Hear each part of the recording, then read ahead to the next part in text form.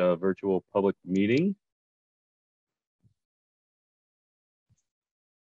Nebraska and those that choose to visit Nebraska to see some of our iconic resources. The cultural treasure that we have there at Buffalo Bill is one that I've enjoyed personally. I look forward to every opportunity to be there and visit. And uh, but I recognize that we can we can do better.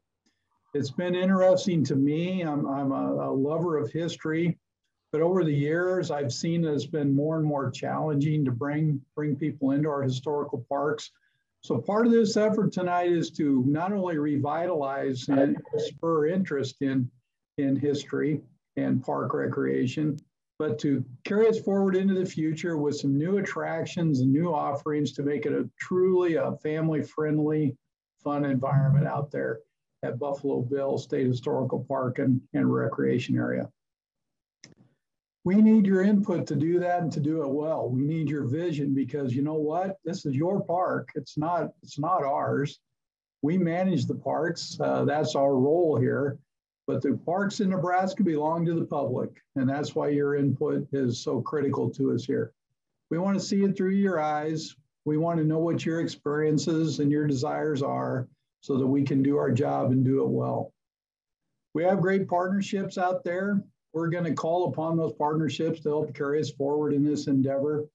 And it's, it's critical that that partnership remains strong uh, because we're going to need assistance not only putting the plan together, but implementing that plan. The funding scenarios and, and everything that's going to play into uh, this matrix is, is critical for us. And how quick are we going to get it done? Well, let's let's not get too far ahead of ourselves and outrun our headlights. We're putting concepts together and ideas that uh, are going to be applied to a timeline and we'll take a look at how we take those steps forward. Some things we may be able to do quickly. Some things we may need a little more time to do, a little fundraising effort or more input for the design of what is truly going to be uh, a great resource. You're going to see some beautiful imagery tonight. Some good concepts have been drafted by a great team that's been working on this already here tonight. And we haven't lost sight of the value of the historic nature of this facility. But what you'll see here tonight is an effort to blend excitement with history to come out with that iconic destination that's going to benefit not only us at Game and Parks, but you, the people that enjoy it, the community of North Platte, and all the partners that have a very vested interest here tonight. So have a good time with this. Please ask questions. Please provide good ideas. We're hungry for that. We're looking for that. And uh, we'll undertake this all together. So thanks for being a part of it here tonight. Skylar, back to you. Thank you, Jim, for that introduction. And one of the, uh, to help kick off tonight's meeting, I'd also like to introduce Adam Jones, who is the superintendent of the State Historical Park at Buffalo Bill, Bill Buffalo Bill Ranch. Adam. All right, good evening. And as Skylar said, I am Adam Jones. I'm lucky enough to be the superintendent out here. I'm actually going to echo a little bit of what Jim said. So, Buffalo Bill Ranch and the Game and Parks, we're in the process of looking at the future of the ranch and what we can offer our visitors. So, although we already offer you know many events and programs and a chance to join the past as well as a quiet and comfortable camping experience we're looking for way, at ways to enhance people's experience out here. So we feel that this is the proper time to look at this.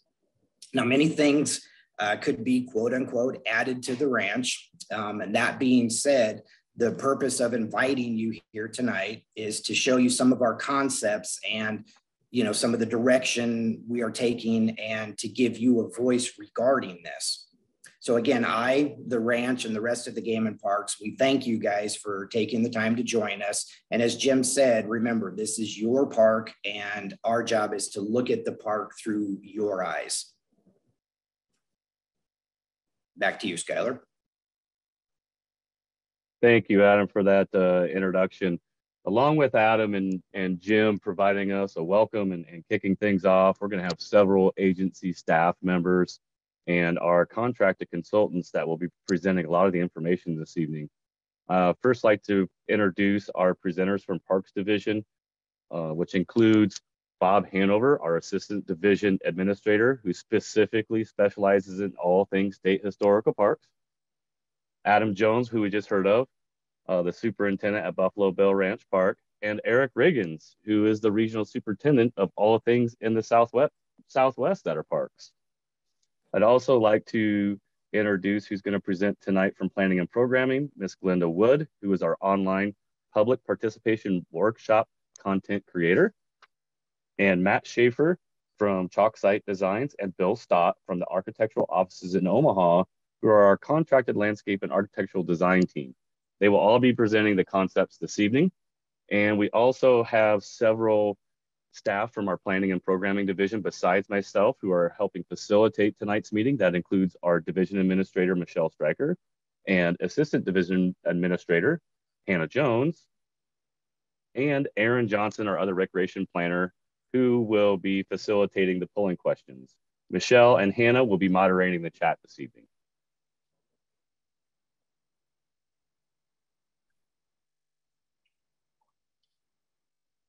Tonight, we will be presenting four concepts, um, as, as we mentioned earlier, or as Adam mentioned earlier, that is related to the master plan. These are essentially four major concepts or important concepts or areas that the Parks Division staff have identified that they would like the public input on for the plan. A presentation of each concept will allow you, the participants, to better understand the purpose and the thought processes of each concept and how it will benefit the park and its users into the future. Now, after each concept is presented, we will be asking a few questions to gain your input for each one of these concepts presented, which will be uh, which will happen via the Zoom polling application. As a reminder, your input provided from these questions will be considered for the final development of the concepts and the final draft of the master plan. Now, as we work into these four concepts, the, the last segment of this evening will include a short tutorial on how to navigate the online workshop demonstration.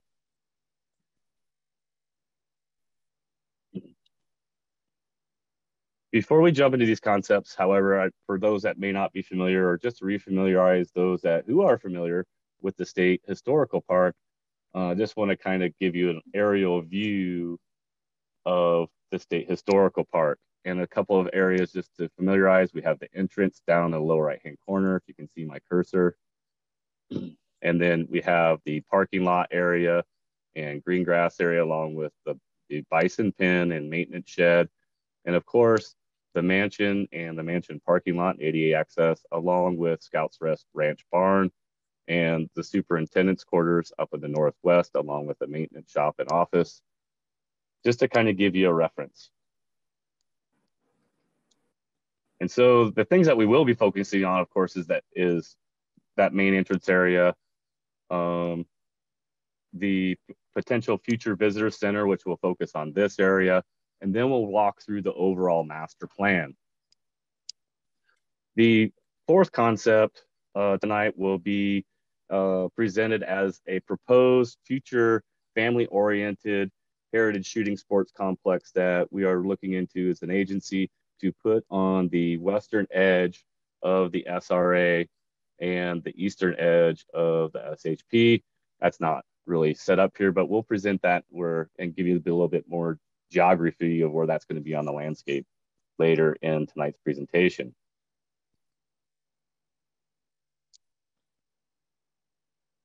So our first concept will be introduced by Eric Riggins and presented by Matt Schaefer. Uh, this will emphasize on the conceptual designs and the layout of the entrance to the park. Eric? Thanks, Skylar. As uh, Skylar mentioned, uh, I'm Eric Riggins. I'm the uh, Southwest Regional Park Superintendent, Buffalo Bill Ranch uh, State Historical Park and State Recreation Area are, two park areas in my uh, supervised area. Um, I also was began my career with Nebraska Game and Parks as the uh, assistant superintendent back in 2000 and later was the lead superintendent and left that role in 2013. Um, so very familiar with the area, and uh, I'd like to just share uh, kind of my thoughts with you on the, uh, the, the current entrance and and what we could possibly do to that entrance way to make it a, a very uh, more friendly and inviting atmosphere for you. So uh, I want to start by, by thanking each of you um, for your participation in this process. Uh, is a very important process. We need your input, as everybody's mentioned. Um, you know, these park areas belong to you, and we greatly appreciate and value your input as we uh, as we go through this process. Um, Nebraska Game of Parks uh, always strives to, to provide a welcoming experience, and this begins at the entrance to any park area. Uh, those of you who are familiar with both Buffalo Bill Ranch uh, park areas most likely agree uh, that the current entrance to the state recreation area at the corner of Buffalo Bill Avenue and Scouts Rest Ranch Road can be very confusing for first time visitors. As visitors approach the end of Buffalo Bill Avenue, they have several options and not a lot of time to determine what is the best option they need to reach their, their desired destination. Uh, these options consist of one, turning 90 degrees right, heading east to the current concession operation, two, veer 45 degrees right, heading northeast towards the state recreation area and campground, or three, turn left 90 degrees and head west to the State Historical Park using Scouts Rest Ranch Road. To add to the confusion at that corner, uh, there's also a, a park driveway uh, that veers northwest to a park residence and a maintenance shop, as well as an entrance into the horse pasture if you continue straight north. So there are basically five options that every visitor um, has at that corner. Um, instant confusion for about every, every one of them as a park superintendent, you know, for those 13 years, I lived in the residence near that intersection um, and witnessed that confusion daily. And in those 13 years and continuing today, have never found a solid solution to that confusion. Many times, traffic does not realize that Buffalo Bill Avenue dead ends at that intersection and that the main through traffic route is that 90 degree left turn onto Scouts Rest Ranch Road. If traffic misses that turn, they're often traveling at a high rate of speed. And in 13 years, I believe I've had to replace sections of fence, gates, mailboxes, etc., on an annual frequency. I'll uh, also share an example, you know, if you don't mind. Uh, I recall one morning uh, getting ready to send a boy off to school and suddenly hear a, a very loud noise outside. Uh, I look out the window and, and witness a fully loaded semi and trailer crashing through a steel pasture gate, uh, shearing off fence post. Um, that steel gate goes flying and then also took out two overhead electrical lines uh, supplying electricity to that residence. Uh, this semi driver thought he was on Highway 83 and he had a full head of steam. Uh, said he was was traveling about 70 miles per hour when he reached that intersection. You know, this is an extreme example and one that hopefully we, we never happens again. Um, but it's a situation that I, I always recall every time I, I approach that intersection. Um, adding signage helps, um, but too many signs also create hazards of stop traffic in the middle of an intersection uh, as they try to make sense of that signage. Uh, the current wooden archway installed by the concessionaire at that intersection uh, helps as well to gain attention of drivers, uh, slowing them down as they approach. But we believe that we can improve that entranceway creating an inviting and safe main entrance, and we'd like your input. Our partnering uh, design consultants uh, with guidance from our park staff have developed some concept designs, which we're gonna share with you tonight. Um, we'd like to present these to you at this time to garner any ideas and input that you have. Uh, so at this time, I'd like to turn it over to Matt, um, and he's going to uh, show you what he's been working on. Again, uh, thank you for your time uh, tonight to join us for this process, and uh, we appreciate it very much. Thanks.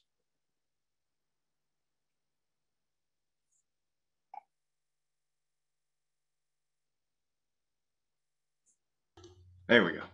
I was looking for the unmute button. And I'm really glad that you're all not here to see me because I picked this spot in my house because of the great light.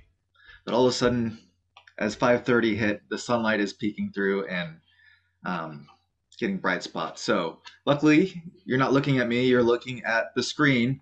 And what I, I have up is just an image, and I think images speak louder than, than words. The current entrance condition um, for the park, where you have the wooden gates, which looks it's nice, but it's not befitting of a state park system. And then you have the decision distance there where you're you're having to turn almost immediately and there's really no time to figure out where you need to go or where you want to go. So um, keep this image in your mind as we kind of go through the next um, few slides.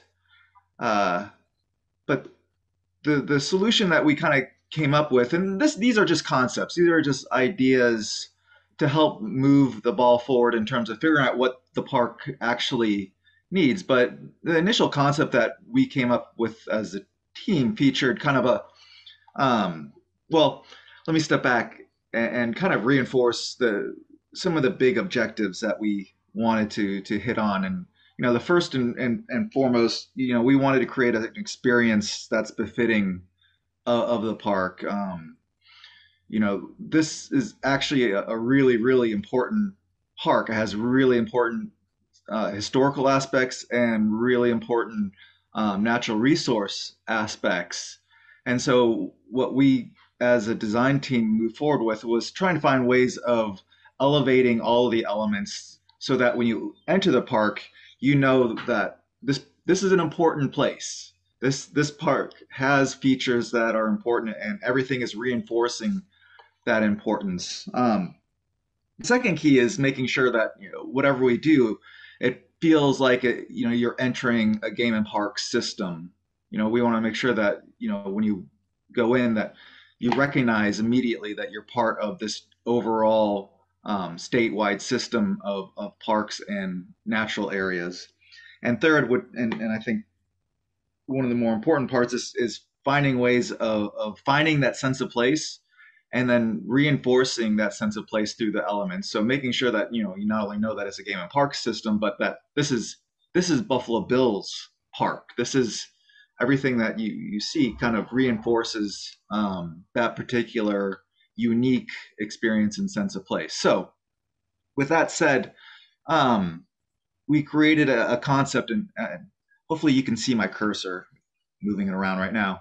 Um, right down here on the south side would be the existing public road, and previously the roads kind of veed off immediately after that intersection. So, you know, looking at things pragmatically, what we wanted to accomplish what was lengthening that distance in which people can make their decisions. So, so you enter the park, you know, you have time to to see the signage, you have time to make the decision because you have two decisions essentially. You have either you turn left and go to the historical area or you turn right to go to the recreation area. And so we want to make sure that that when you enter the park that you have the capacity to make that decision in a comfortable manner. And then to address kind of what Eric was saying, a little bit of traffic calming goes a long ways and and and creating a slight little bend in this I think will will help slow people down and and as as vehicles enter, you know, even if even if you're on autopilot, you'll start to turn and then you know you're you, you'll go off autopilot and realize and you have enough distance to make those those important reactions and slow down. Um, and then when you hit this T, you have the big wayfinding sign that tells you which way you want to go. Um, so starting back down the south, you know, in addition to the wayfinding, we wanted to create a really, you know, in, you know, piece of architecture that, that a gateway that reinforces uh, that you're entering a park system and then reinforces that you're entering, you know, Scouts Rest Ranch.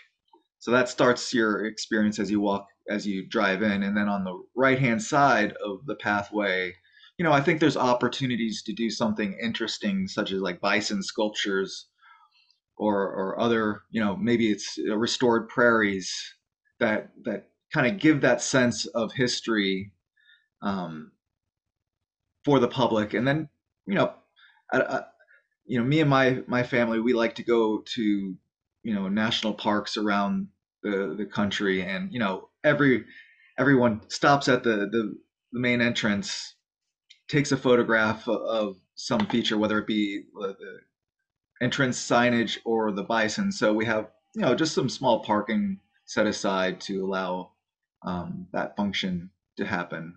And then just some other pragmatic things, you know, screening and, and providing, you know, we have the superintendent's house there. We want to make sure they're comfortable with people driving in and out of, of the park.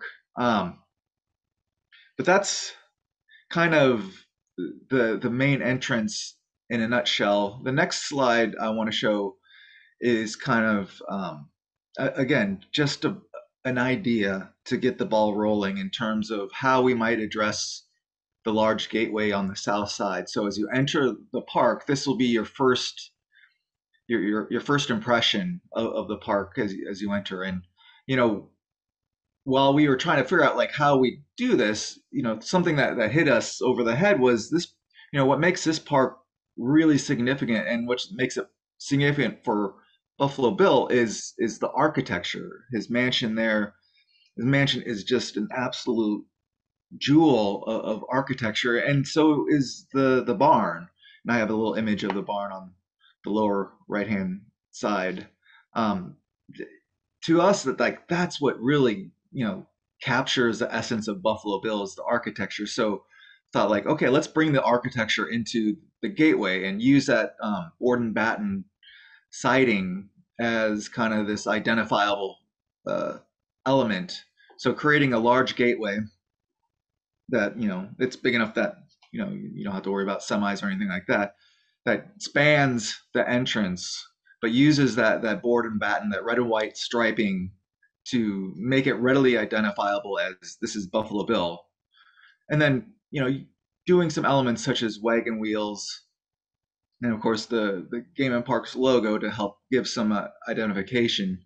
And then because we're dealing with two separate parks, you know, identifying we have the state historical park and then we also have the state recreation area. And I know there's some other ideas of, of using some of these, the columns for additional signage. Um, we have some other imagery that I think you can find on um, the online platform. But for this uh, image, I think this really captures kind of an, an idea that, that, you know, is grand in scale, uh, captures that unique sense of place, the unique architecture, and then um, creates a readily identifiable park element so that when you drive underneath this, that you know that you're in a game and parks area. So um, I think that is all I have for for this particular. Uh, I think going back to Skylar transition.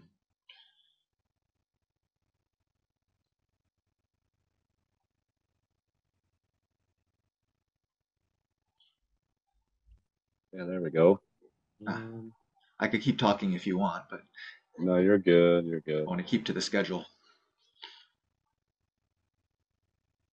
Thank you very much, you two, for introducing and giving a brief, a really good detailed description of the park entrance concept. Um, really appreciate that. Now, I believe we should have a poll come up from Aaron. Uh, it should pop up on your screen, and there should be three questions. You might have to scroll down, up or down, depending on how tall, wide you have your window pop up. And on your phones, you may have to press up or down or, or swipe up or down. Once you've, uh, we'll give you a couple minutes here to answer those polling questions that relate to the that entrance facade design and the entrance concept. Once we feel that we've given you enough time, uh, we will end the poll and show you the results.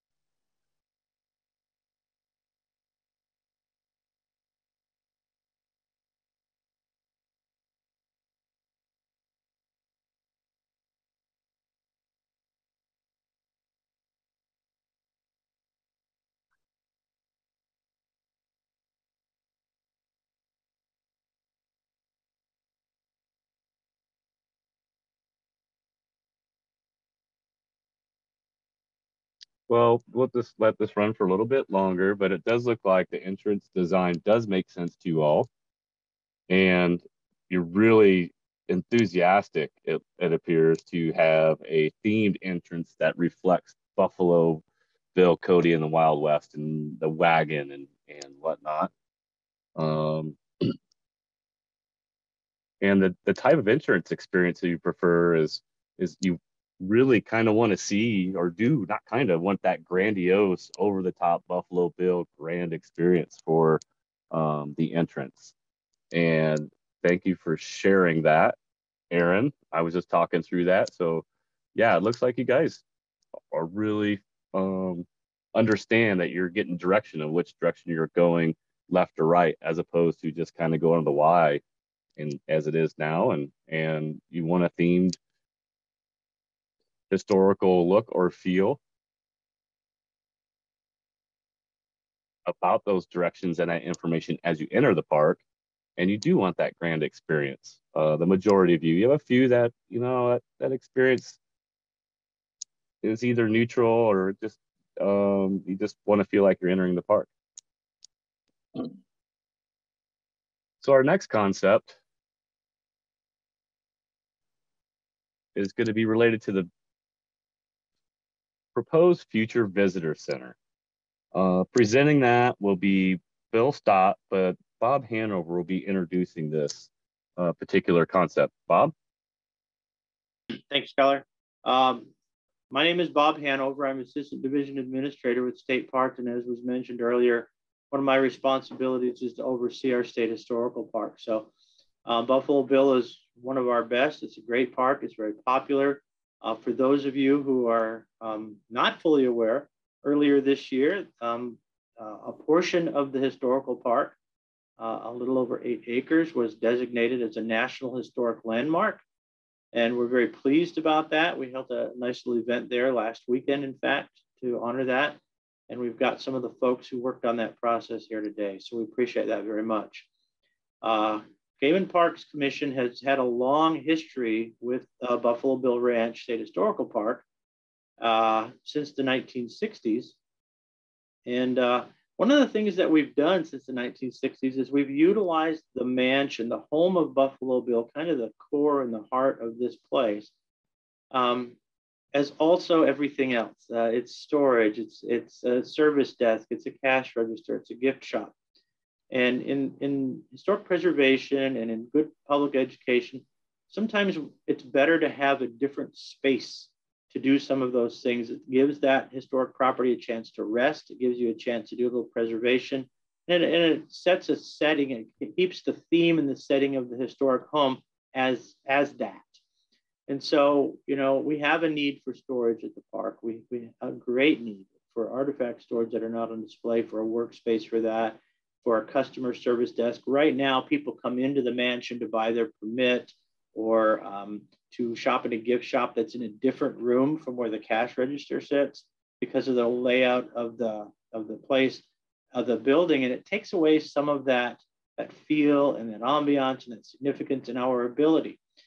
Uh, there's other things we want to do. You know, I I hear people say, well, you should do this or you shouldn't do this at Buffalo Bill uh, State Historical Park. And, and it's kind of fun for me to say, well, you know, this is Buffalo Bill's house. This is where he lived. If, if there's any place we have a little more flexibility to have some fun and to try some things, it's Buffalo Bill Ranch. If Bill were here today in this oh. meeting, I, I really, I really believe that um, he would say, let's do this and let's do that and let's find all these fun things we can do and he'd find a way to make it happen.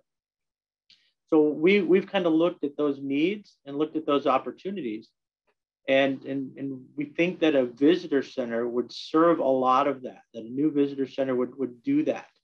And so it would be a space where we could have a, a, a nice lobby, where we could have a customer service desk to serve those needs, a place where we could have an educational center, an educational room, uh, a place where we could um, uh, have a theater, a place where we could exhibit things, things like that. We also look at as a at a visitor center as also an event or activity space.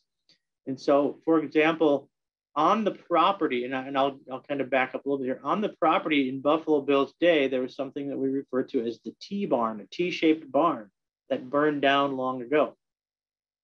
So we got this concept that we could potentially build a visitor center kind of in that location and in that shape to represent that barn that was once there.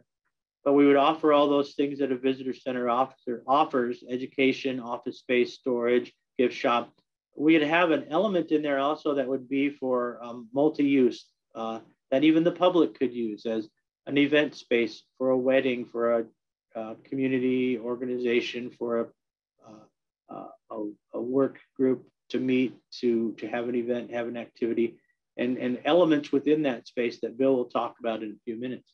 We really believe that uh, having a visitor center, or we believe that having a visitor center would allow us not only to provide these enhancements and these better opportunities at Buffalo Bill, but it would allow us to better preserve, enhance, and educate the mansion by not giving it double duty as or triple duty as many of the things in, in one of the one of the bunk rooms for the cowboys we show movies instead. And so you really don't understand or the public really doesn't get a chance to see that this was a bunk room where a bunch of cowboys slept all night.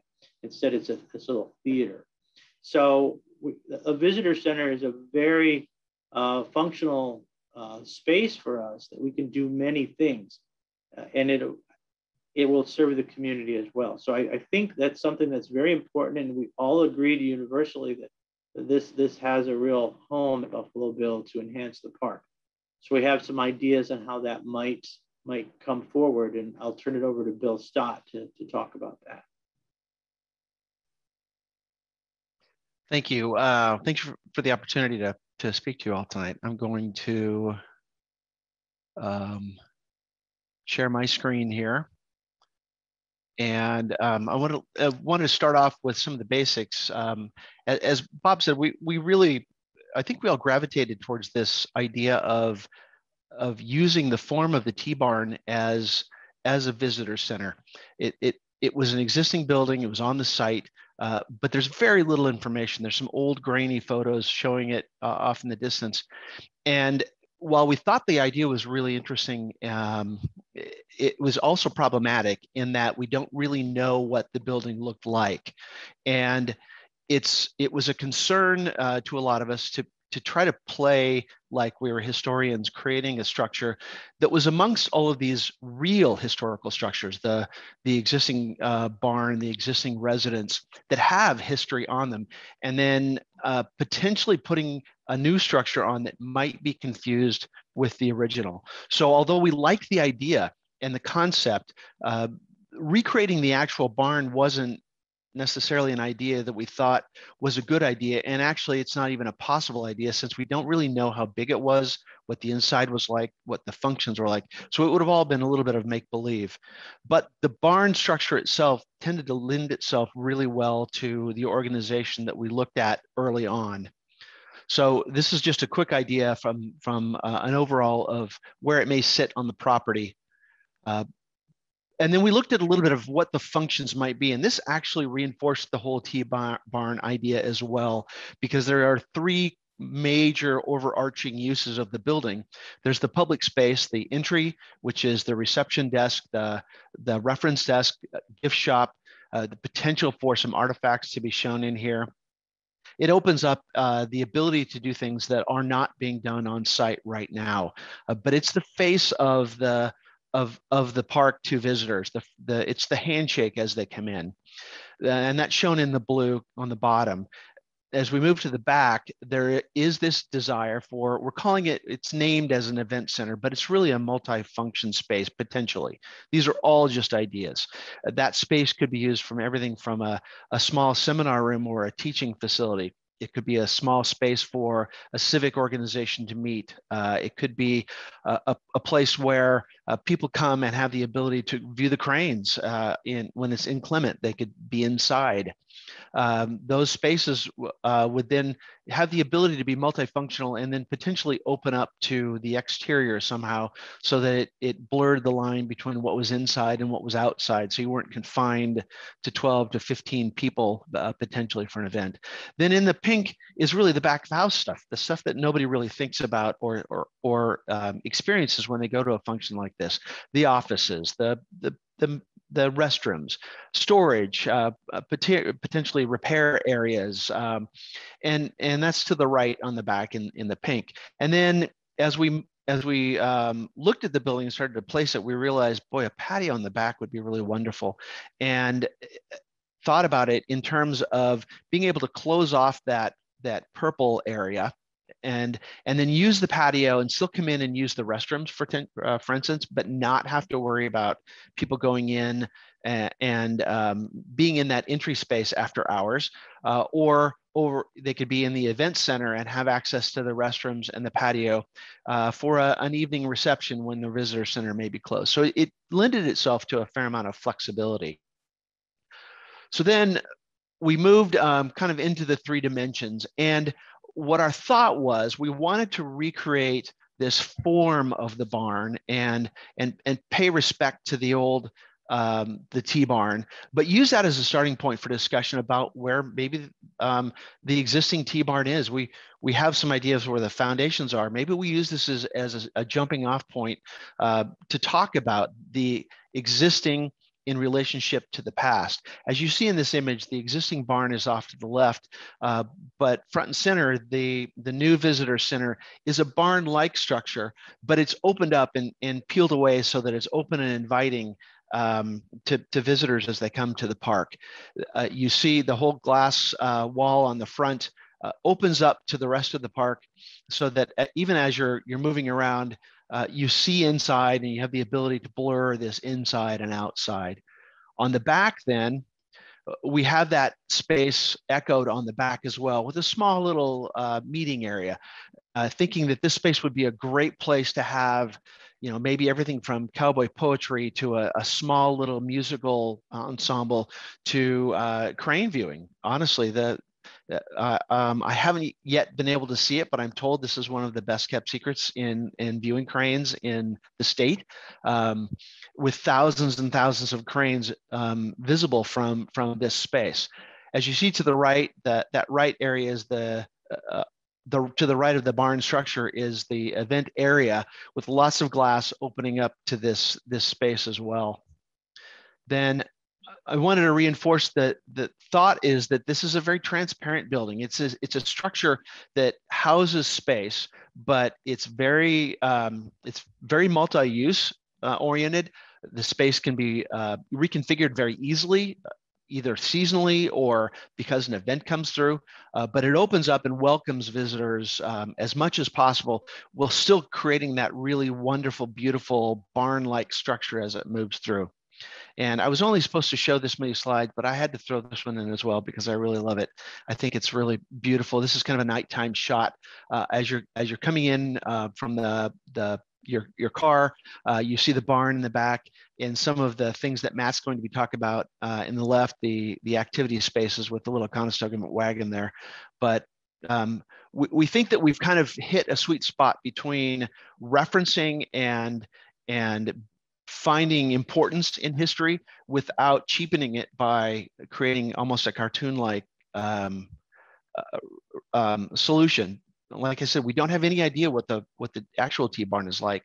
So anything that we did would be wrong, and we chose to go the absolute opposite. So a visitor coming would know in this this area that has these really wonderful historical structures. This is not a historical structure, but it is of the same language and the same family of the rest of the structures. So with that, I'm going to pass it back to Skylar, and I thank you very much.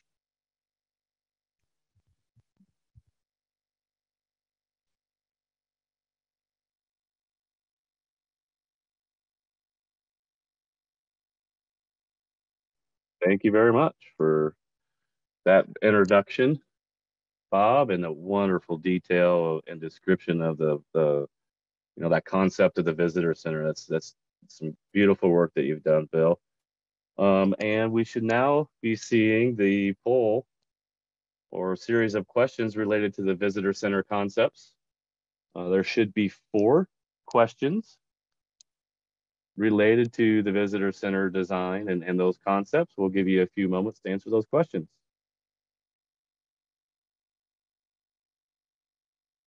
And again, if you don't see those questions, all the four questions, feel free to uh, scroll up and down, especially those that are using a cell phone or tablet.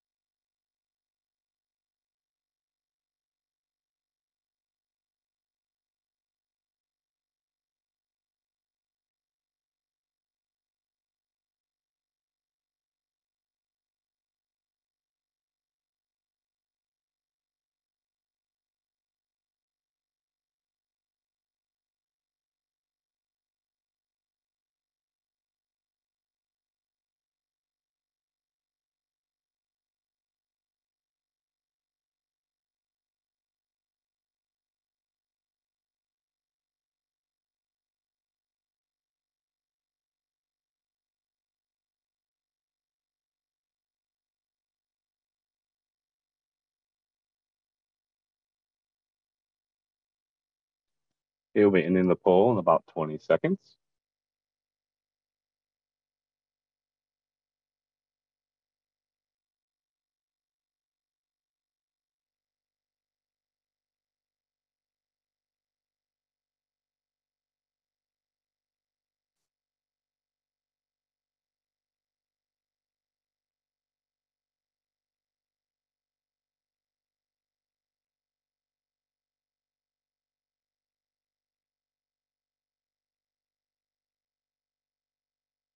Okay.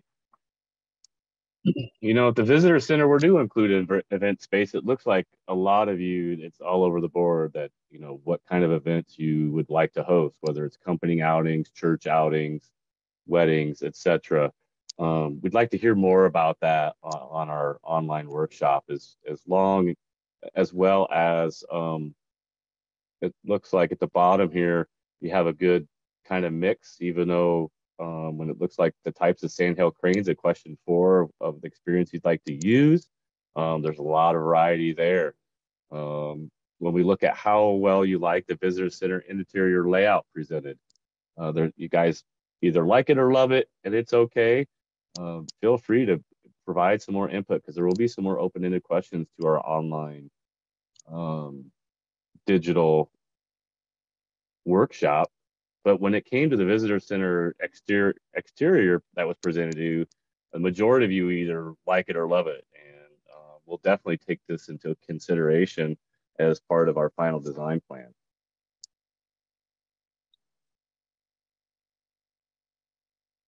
So our third concept that we're going to bring forth this evening for you to view and be presented to you by Adam Jones and, and excuse me, introduced by Adam Jones and presented to you by Matt Schaefer, is the overall master plan and associated natural playground concept. And the natural playground concept takes on an interesting theme.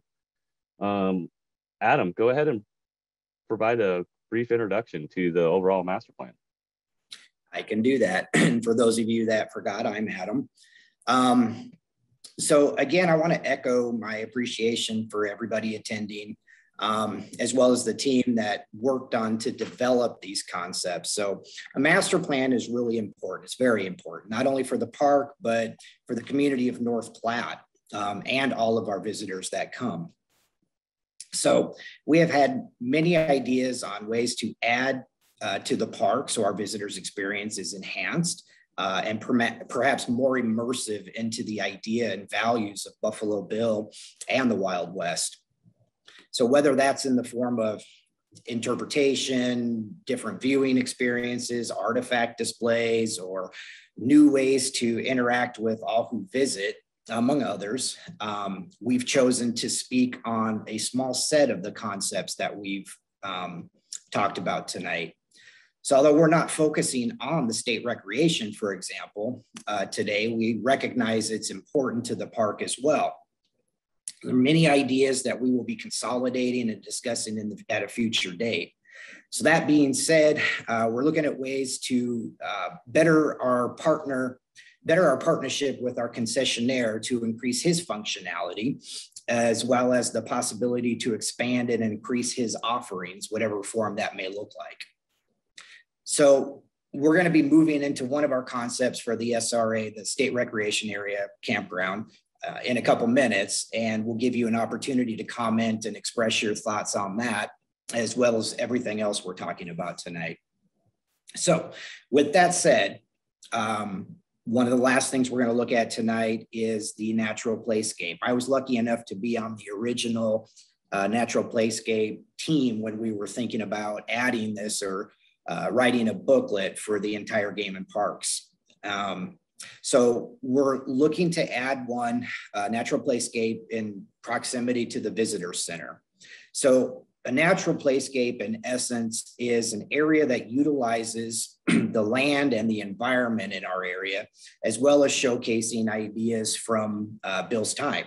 So in other words, it's an area with a Buffalo Bill theme, um, which Matt will go into more specifics in a few moments.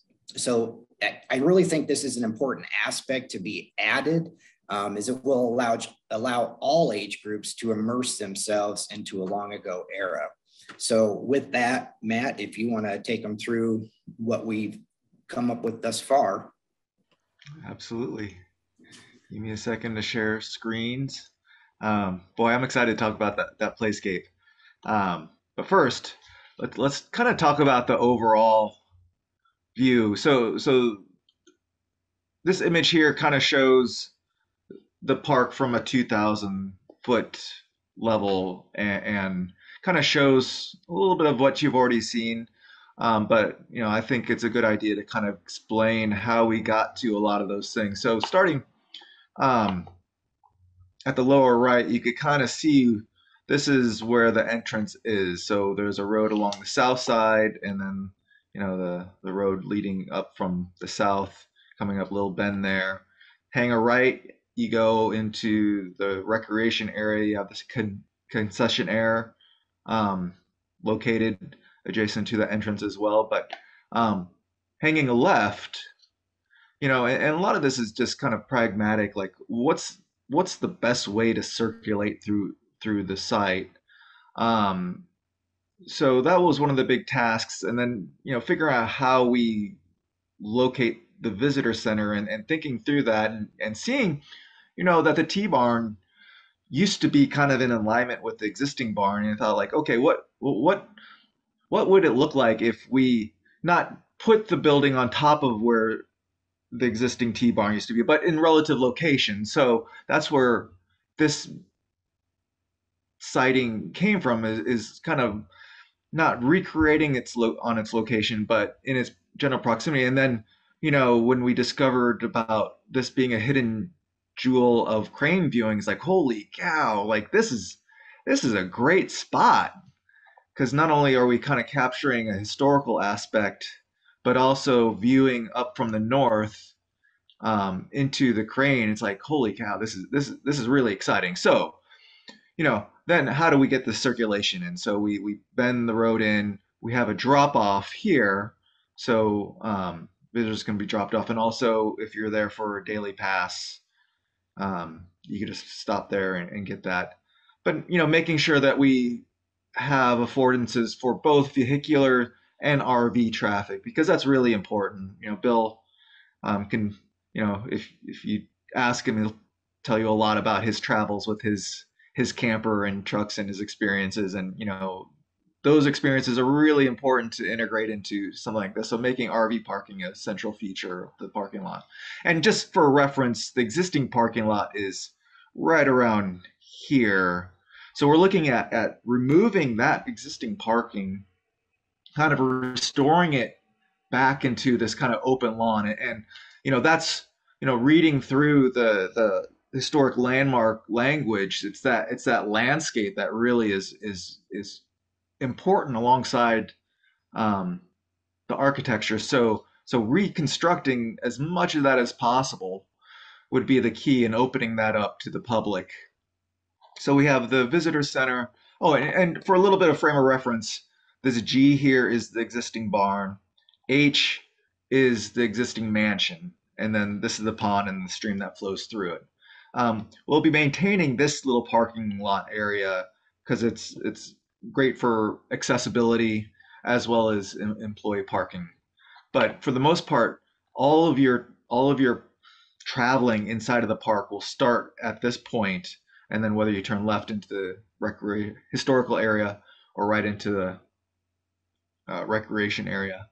Um, so visitor center to the south here is that um, nature playscape, and this forms a really great triangle of activity between um, you know, parking, you know, whether you've traveled some distance, you know, giving a, uh, the kiddos an opportunity to burn off steam before heading into the historical um, aspects. And then, of course, after that, you know, they, they built up their energy. They get to burn it off again before getting back into the car and, and heading off to wherever um, the adventure may continue.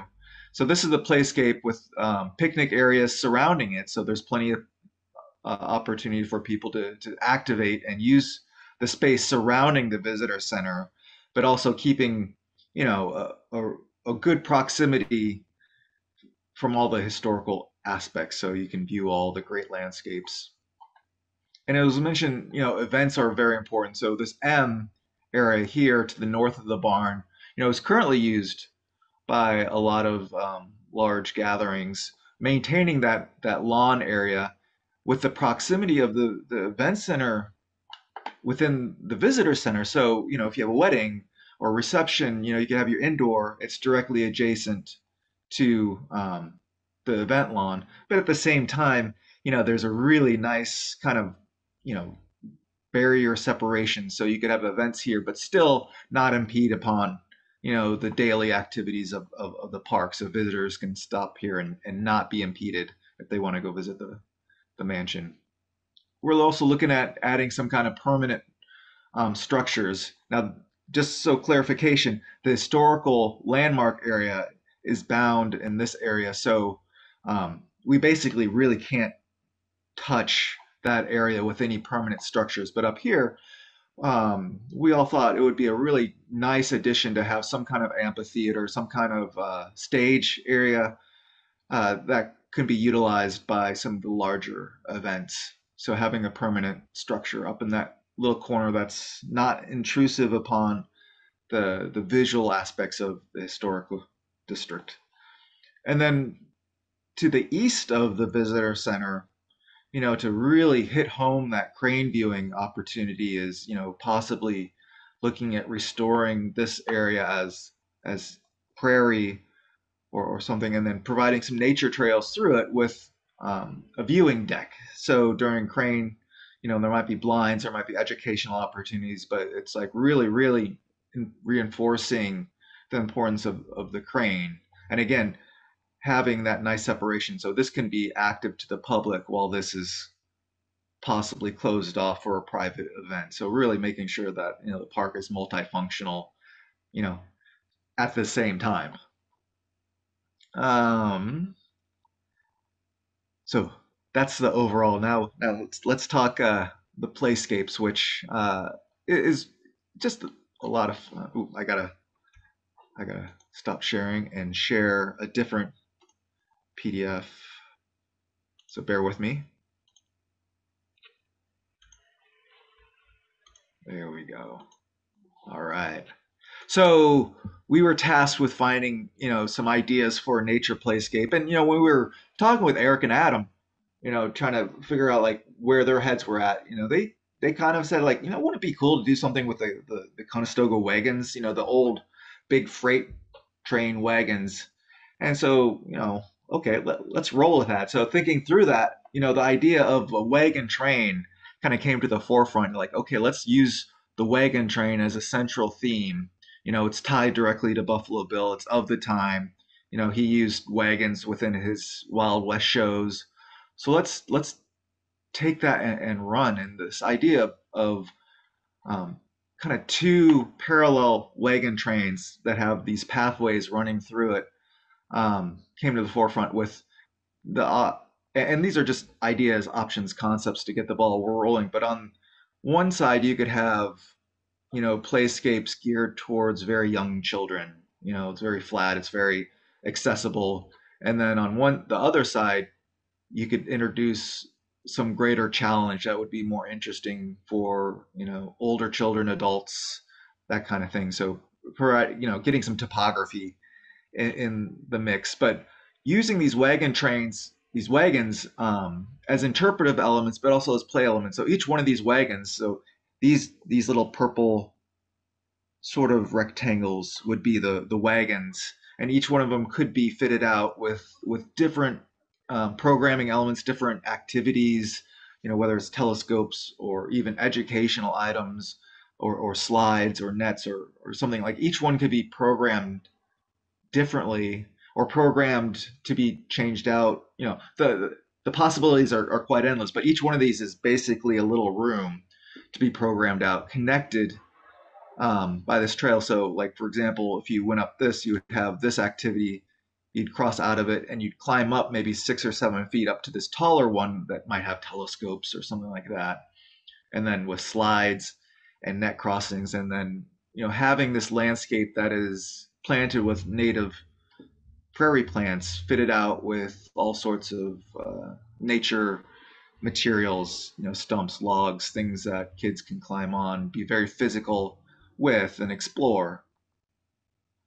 Um, and then you know blending you know com- connecting these two sides would be this kind of central area with a, a, sensory garden a demonstration garden the entrance could be a, a native american hoop garden. So now we're starting to introduce um, kind of kind of botanical you know interpretations from from the of the time of buffalo bill. And then on the south side you know I don't know if everyone's been on on, a um, wagon train. Oh my gosh, uh, there's dogs screaming in the background. But uh, you know, a campfire is central to you know the wagon train, and, and instead of a campfire, it's stacks of logs and, and branches and trees that create a natural playground element, a natural you know jungle gym that you know kids can play on and build and construct on and then finally, on the east end, creating a buffer between the parking lot and the playscape would be restored prairies with um, pathways through. And these pathways can be um, done in a way that are geared more towards children. So if you recall on the the larger plan, there was the nature pathways for the crane viewing. Now those could be geared towards adults. This one could be geared, you know, the interpretation, interpretive elements, the activities within the nature path geared towards smaller children. Um, and then lining, ringing around the, the playscape would be, you know, opportunities for, for picnic tables, benches, and other resting spots that, you know, you're traveling, you can have lunch there and let the kids burn steam off. But um, I think that's it for the playscapes. Very exciting. This this was a this this particular piece was a lot of fun to think through and and, and develop. So with that, I will stop sharing and hand it back to Skylar. Well, thank you, Adam, for the introduction, and Matt for that great illustration that you provided us uh, for both the State Historical Park Master Plan and the Natural Playground concept. That's really interesting, and I think it's a lot of fun and fits the theme of Buffalo Bill. Um, we will now post uh, six questions for the overall State Historic Park Master Plan and Playscape concepts. The first four will include questions related to the overall master plan, and the last two will emphasize on the natural playscape. And we'll give you a couple minutes to answer those questions.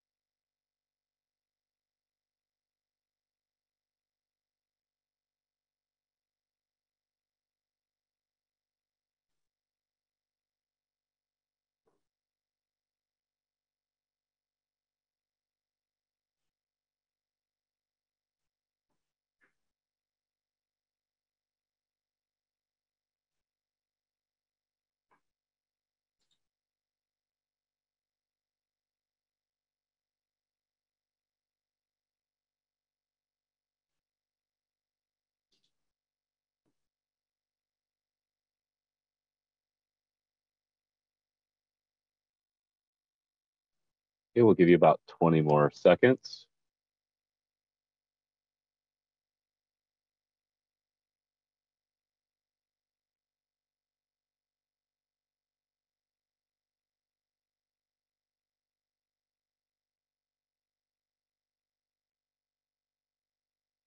And there we go.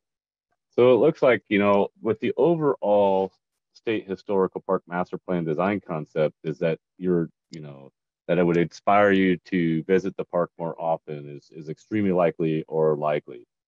Um, and when we look at the proposed roundabout drop off at the potential uh, visitor center, whether or not you like it, it's overwhelming, undisputably, everybody it seems to like like that feature of the visitor center.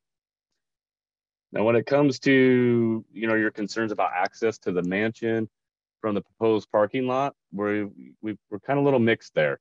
And so I suggest that everybody that um, has some concerns about that to please go ahead and visit the digital workshop that will be posted in the next couple business days uh, to express your concerns about um, those specifically.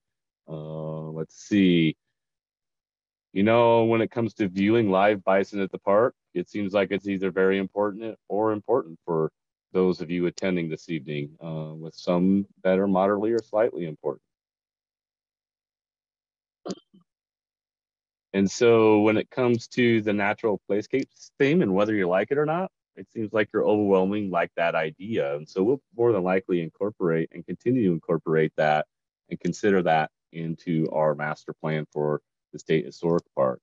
And it seems like you like that same proposed location of the natural playscape within the state, state historical park. So a lot of good input today. We thank you for that um, related to the master plan and the playscape concepts. So our final uh, concept for the evening is one uh, as a shooting sports complex that Nebraska Parks Commission is currently looking at and exploring to add to the state recreation area. If you look in the map, um, it's just on the very southwest corner as you enter the park. And basically, this is the only part of the area of the park that we or, or the state recreation area that we can build this structure. But to introduce and to present the shooting sports complex, I'll turn it over to Bob Hanover for more of those details.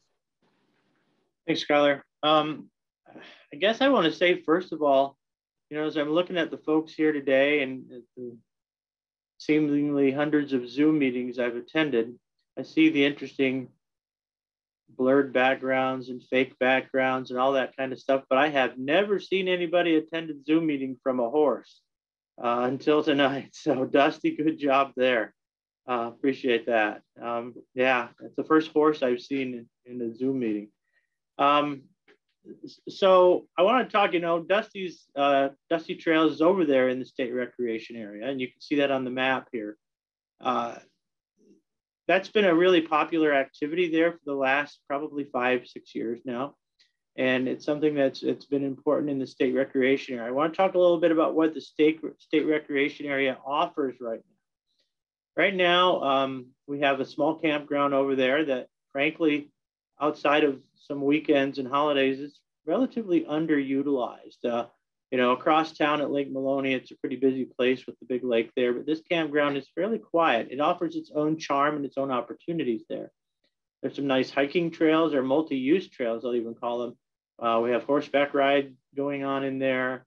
We have hiking going on there. Mountain bikers could get in there. There's some beautiful trail areas. There's also a nice little backwater off the Platte River where people kayak, fish, and enjoy some quiet area right there.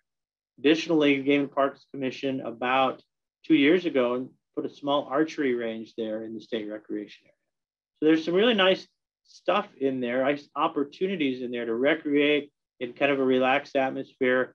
There's some excellent crane viewing opportunities. Uh, a few years ago, we even made a, um, a mobile blind so we could move it uh, to, we think, more strategic locations during crane viewing season. So there's a lot of this stuff over there, and I don't want to short shrift the state recreation area. That's part of this whole consideration, part of this whole plan. We've been focusing a lot on the historical park, but this is a big element of it. One of the one of the larger ideas and proposals that came forward was for a shooting range. I've been with the Nebraska Game and Parks Commission for seven years now, and uh, those who work with me probably say it feels like 20. I get it, um, but uh, even before I started, there was talk of a shooting range at Buffalo Bill or in the North Platte area. And that came uh, organically from the community, from within Game and Parks and other places to say, hey, there, there's an opportunity for something out there. And so uh, this proposal came forward to develop a, a shooting range there. And, you know, a lot of people said, well, it's shooting, it's Buffalo Bill. It seems to be a natural marriage. So we, we decided that that idea deserved some exploration. So over the past few months, we've been looking at what utilities are there, what utilities would be needed. What's the impact on the horseback riding concession? What would be the impact on the state historical park? Uh, how would we direct traffic there? We got a road that goes to the campground. What, what are we going to do with that? There's some underground pipelines. This whole area to the to the right of what you see depicted here is a floodplain. So there's a lot of factors that we really want to wrap our minds around as we consider this opportunity. You can see in the this concept, and, and it is very conceptual. Uh, you can see where the Dusty Trails area is, and those, though you may not remember exactly how it looks now, this reimagines a little bit about the parking lot and and uh, maybe some of the layout of where the corrals are and that kind of stuff. But generally, uh, that's the same location, same opportunity there for people to see that up front you know, um, in my mind, the ability to ride a horse on Buffalo Bill's ranch is something, well, you can't do it anywhere else in the world. So this is a really great opportunity. And, and our concept of a shooting range doesn't really change that. It just maybe alters a little bit of the, the layout there. Then the shooting range itself would cause, you can see that black line there for that road to kind of kind of turn a little bit to the right and go around the back of the shooting range um, instead of straight through like it does today. Yeah, just like that. Um, so the shooting range, then we said, if we do this, what might be available in this space? What might be something that would serve the community? And so we looked at the potential for an archery range, for an indoor air gun, for a small bore rifle range. Um, and, and Skylar's highlighting those now. with the safety berms that are there and without impacting, you know, everything else that's in that area, uh, the cranes and the, the cattle on the ranch next door and all that kind of stuff. So those berms are there. And so that, that's kind of a concept that we could provide those opportunities to the community of North Platte. And the small range that's archery range that we put in the campground a couple of years ago is actually very well used. It's very popular. And so we this has something to potential to be something people would, would enjoy and utilize. And So we further went on to say, well, how does this then marry up with? How does it uh, become part of the Buffalo Bill experience? And so we thought, well, maybe some of the building fronts could look like the Wild West show. Maybe we could put some interpretive uh, uh, panels and displays within these buildings or within this space. We, we wondered, you know, um, what if we had an occasional opportunity uh, for a show or a competition of some quick draw or trick shooting that the public could see and enjoy? Uh, would this fit with the Buffalo Bill theme? You know, um, we know that one of his uh, stars of the show was Annie Oakley, and there are many other women. Would, would, would displays like that encourage a broader audience of people to, to use and utilize and show this uh, or see this um, uh, space here? And so those are the kind of concepts that, that we are exploring, we're looking at. We wanted to visualize it with this concept here to see where that sits with the folks you know? How does everyone feel about that? Does that enhance the the state recreation area? Are we are we thinking on a right path here? And uh, where where should we go with this? Um, kind of a kind of an idea. And so i don't want to get into all of the details here because there there's certainly nothing is decided but wanted to share the concept that this shooting range because of floodplains and wetlands and cranes. This is the, if we do one, this would be the place it would have to sit. And so it would limit some of the um, possibilities that we could have, but it would also bring possibilities um, to the to the park as an overall whole. And I would mention too, there was a, a question earlier about what where the National Historic Landmark boundaries are, and Matt kind of addressed that this or none of the other development that has been recommended would be within the National Historic Landmark boundary. And in fact, we, we have talked long and hard about making sure that anything we do serves to enhance that or not detract in any way from that. Uh, and maybe even gives that property a chance to rest a little bit by not using it for things that it, it doesn't need to be used for. So this is the shooting complex here. And I'm sure there'll be questions and comments about that. Um, but but that's uh, generally the proposal and the research that we're doing. Where's the nearest water? Where's the nearest um, electricity? What would it take us to actually pull something like this off?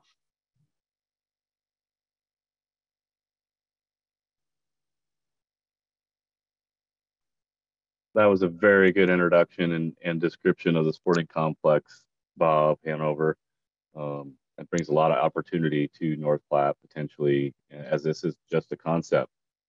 Uh, we will be asking one quick question related to the shooting sports complex, which is posted now. We'll give you a couple of minutes to go ahead and respond and make your choice.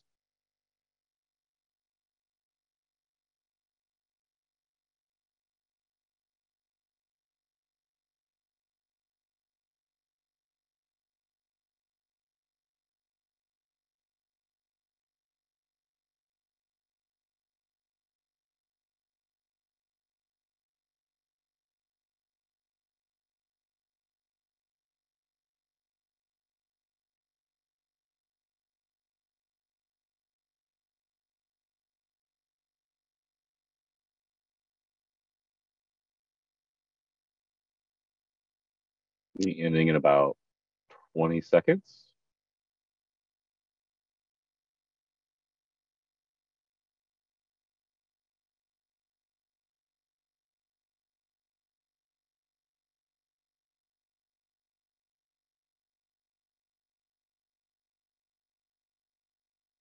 Okay, now you should see the results, and it looks like you guys pretty much overwhelmingly do support having some sort of thematic representative shooting complex that reflects the era of Buffalo Bill. And for those that didn't, I do suggest you continue to visit our digital workshop, which is the last part of our presentation this evening, which Miss Glenda Wood, our lead digital workshop content creator, will walk you through the tutorial about how to navigate the online digital workshop, which can be found uh, in the next couple business days. Uh, just because we want to put these results up, can be found at outdoornebraska.gov slash Buffalo Bill Ranch or outdoornebraska.gov slash Buffalo Bill SRA. Glenda. All right, well, welcome everyone. Uh, let me get our screen up here. And I will take just a few moments to walk you through our digital workshop. And so we have designed this site really to be intuitive, easy to navigate, and there's really just a couple of concepts to keep in mind as you're viewing the website. Now up here at the top where you see the Game and Parks logo, when you are in any other documents or sections on this website, you can simply click on this logo and it will bring you back to the home page. I'm gonna scroll down here and show you where we have created buttons, these red buttons that you will click into to take you into many of the same documents that you saw this evening uh, during this virtual meeting. Now, once you are in these documents, it's very easy to resize the document if you need to make it larger based on whatever device you may be viewing this from. You can zoom in or zoom out, and you can also page through all of the documents that are in each particular section. Now, once you are in these documents, what you are looking for are the blue icons posted typically on the left side of the document or maybe kind of interspersed on the actual uh, document itself. Once you click into these icons, it will take you into another area where we're going to ask you again a series of questions that you can comment on. And we're really excited that using this platform, not only the people here on the virtual meeting will get a chance to provide input, but also anybody that visits this site simply can fill out these questions hit submit at the bottom and your responses will be recorded. Now you'll notice here that there is, you know, the security feature of I am not a robot. And you will see that on most every one of the comment uh, questions that we ask. And that's just one of the security features that come along with this platform. And to exit, you simply click the X right up here and it'll close out the document. You'll also notice most of these have a back button here at the top which will again take you back to the home page and you can go in and out of these documents uh, and view them as often as you like. Here's another example of the overall concept we were talking about for the plan. This one is taking just a little bit to load. Um, but I would remind you, please be sure and view, scroll through all of the documents because when there's several pages in here, there might be several icons for you to click on. And so here's just another example of one of those uh, comment forms that we're requesting input on. And I'll go back to the main page. And as you'll scroll down, you'll see down here, we also will be posting once the uh, video recording is available, we will post up the virtual presentation here so that people that didn't attend the meeting can also see the presentation. We also will be posting the results from the survey questions. So people who visit this site and weren't at the meeting will see the questions that were asked and the responses that were gained. And then we've also posted here kind of a timeline of the progress that this plan has gone through starting back in September 2019 up to uh, today. Here was the meeting. And then the final draft of the plan uh, will be submitted, presented to the commissioners at a later date.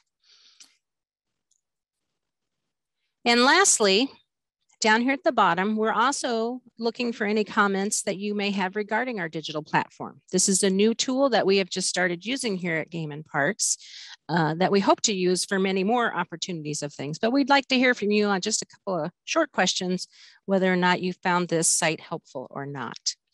So I wanna thank you for your time, uh, letting me show you a little bit about this uh, digital platform, and I'll send it back to Skylar to wrap up the meeting.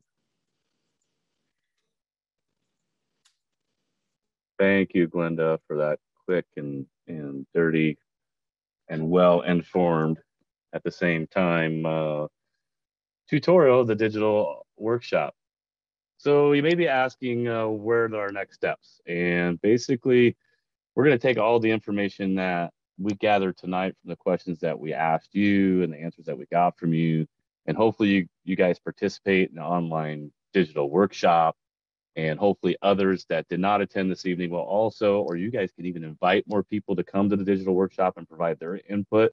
Uh, we'll take all that information and we'll put it into, um, take that for consideration and, and provide, hopefully help refine and uh, get at a little bit more detail of the development of the master plan and these conceptual designs. I thank you all for attending tonight's virtual public meeting. And again, there will be more opportunities for you to comment and provide your feedback on the workshop. Uh, this site will be up in the next couple of business days. And thank you again for your support of the Buffalo Bill Ranch uh, Park facilities and your support and feedback this evening. Have a great evening. That ends our meeting.